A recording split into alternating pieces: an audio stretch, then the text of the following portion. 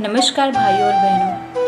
मैं पूजा हिरोलिया जिला मंसूर की निवासी। हूँ और प्रेजेंट में मैं बेंगलुरु निमांस में नर्सिंग ऑफिसर की पोस्ट पे कार्यरत हूँ।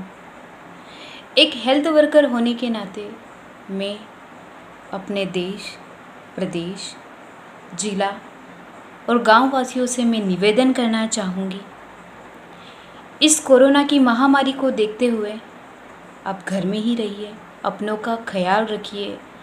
अपने लिए ना सही, आप अपने देश के लिए सोचें। जिला प्रशासन के नियमों का पालन करें और देश के खातिर ज़रूरतमंद लोगों की मदद करें। धन्यवाद।